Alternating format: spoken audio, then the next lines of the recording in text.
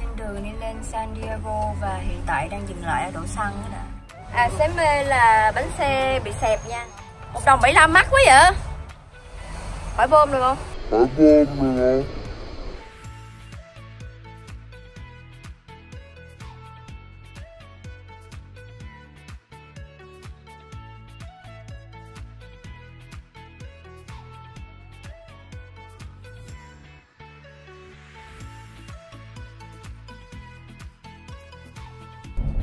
Quá nè. Tâm nghĩ để mà nguyên cái quá trình đi là khoảng 12 cây rưỡi như vậy thì nó thành là một coi như là như coi như tập thể dục rồi. Cho nên là Tâm sẽ Tâm cầm theo uh, hai chai muscle milk. Tâm theo Tâm uống luôn. Tâm nghĩ cái này cũng là vừa vừa có thêm năng lượng mà vừa giúp cho mình cái đủ sức để mà đi được 12 cây rưỡi. 12 cây rưỡi thực ra là là là tổng đoạn đường là một nửa đường lên là khoảng 6 cây nhưng mà tâm nghĩ 6 cây mà để đi được thế mà để đi lên núi vậy cũng rất là mệt chứ không phải là chứ không phải là như đi đường bằng. Nên tâm nghĩ là mọi người phải ăn rất là nhiều. Nói ăn nhiều không đúng. Nói ăn nhiều cũng đúng. phải ăn đủ chất và ăn cho đủ. Phải mang ngoài nước ra tâm nghĩ là mọi người cũng nên cần mang theo ví dụ như là chuối hoặc là những cái gì mình nhẹ thôi. À, hoặc là protein bar hoặc là bánh kẹo gì đó để mà có thể giúp mọi người ờ, có thể đi được liền tù tì 6, 6 km và đi xuống Tâm nghĩ là trước khi đi á, thì mọi người cũng nên đi tìm ờ, nhà vệ sinh gần nhất để mà chắc chắn là gọi là đi giữa đường không có bị ờ, gọi là tai nạn gì xảy ra nha để, để, để đảm bảo an toàn thì nên đi tìm cái toilet trước giải quyết trước rồi mới đi I have one question. So, Okay. is uh, this park always closed at 7:15? This park closes, the time changes. In other words, the sunrise to sunset is when we're open. Yeah. So sunset right now is 7 o'clock, so we stay open till 7.15. In about 30 days, we'll be open till 8 o'clock. Okay. Okay? Thank you. You're welcome.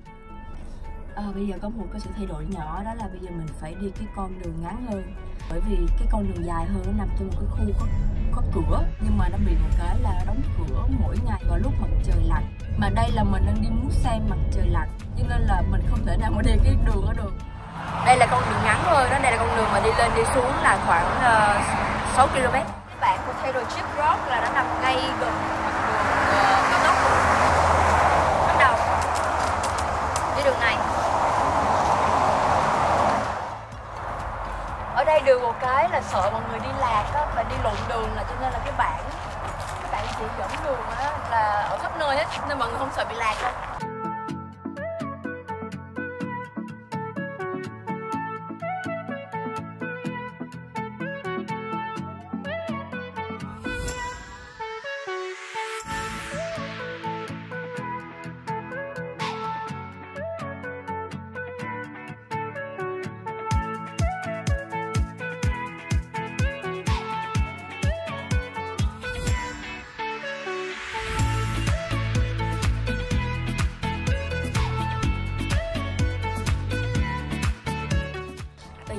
đầu đi lên cái con đường dốc hơn.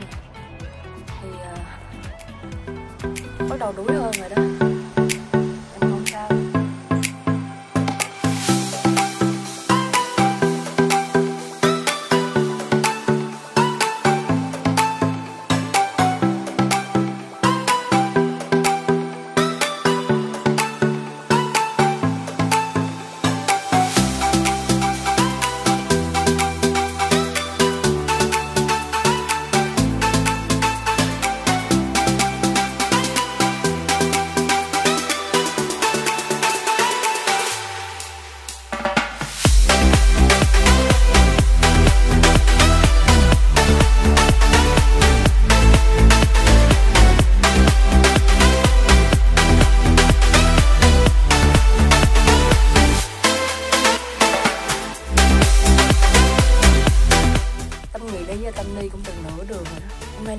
Cho nên đường đi cũng rất là vắng.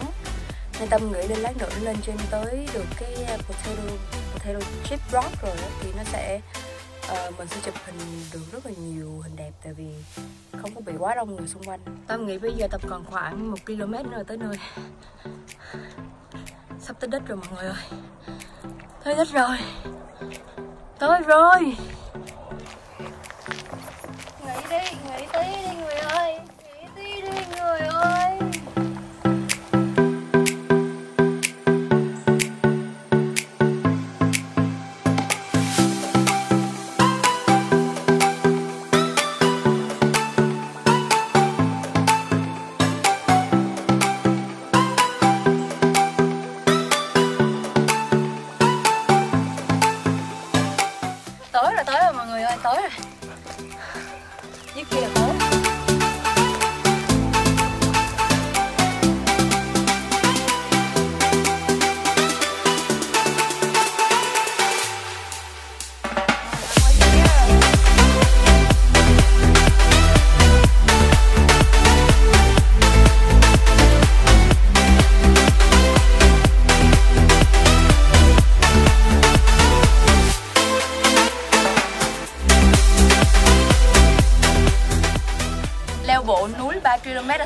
là cũng đáng quá ha.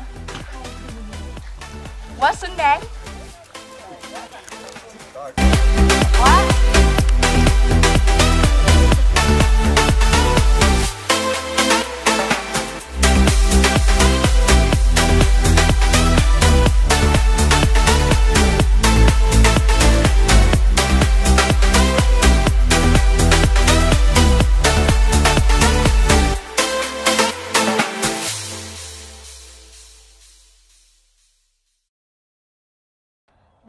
giờ là trời đã tối hẳn rồi và hên quá có cây đèn ăn cắp của xin lỗi lâu mượn không ăn cắp mượn của ông anh.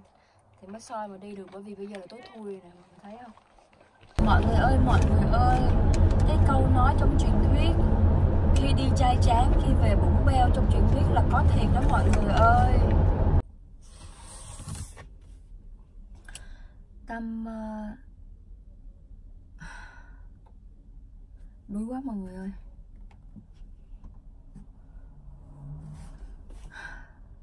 Đuối mọi người ơi. Đuối thực sự. Trời ơi, muốn chết đi sống lại, leo muốn chết đi sống lại, trời ơi. Muốn xỉu. Lúc nãy đi hả, thì thì mạnh mẽ, kiên cường. Bao nhiêu thì bây giờ hả, là là là là muốn sụp đổ bấy nhiêu luôn á. Nhưng mà nói chứ, nói gì nói chứ, tâm thấy là cái quãng đường đi dù là khó khăn dù rất là mệt nhưng mà rất là xứng đáng. Tâm thấy cái đường đi lên rất là cực đó rất là dốc. Hơi đuối muốn chết đi sống lại đó. Nhưng mà nhưng mà khi mà lên được trên đỉnh rồi đó, thì mới thấy là mọi cái mọi cái mệt mỏi mọi cái khổ là xứng đáng hết. Bởi vì lên trên đó thực sự là thấy toàn cảnh. Lúc đó tâm đang ờ, lúc mà tâm lên nó là ngay lúc hoàng hôn luôn mặt trời ngay cái ngay cái chỗ đó đẹp kinh khủng khiếp. Chụp cái bức hình, chụp những cái bức hình là y như là mình lên mạng, mình google, mình mình tìm thấy vậy đó. Không nói quá luôn. Rồi cái khung cảnh mà mình nhìn thấy ở trên đó thực sự là phải nói là đẹp xỉu nó là đẹp đẹp không thể tưởng tượng được. Nên tâm thấy là bao nhiêu cái mệt là nó xứng đáng hết. Mệt ở đây cũng là theo cái kiểu mà tốt cho sức khỏe, nên tâm nghĩ là cũng không có gì để mà nó không phải là hại gì cho sức khỏe hết mình nó đâu phải là đâu phải mệt từ kiểu mà hành xác hay gì đâu. Nó chỉ là cần một chút sức vậy thôi, nhưng mà ta nói đẹp hú hồn á. Cái từ đẹp hú hồn là đúng luôn á, không nói quá luôn. Cho nên tao nghĩ là mọi người phải đi.